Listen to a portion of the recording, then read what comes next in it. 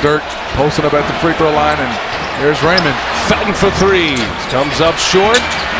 Mito. Boy, Mito coming up big here, huh? Another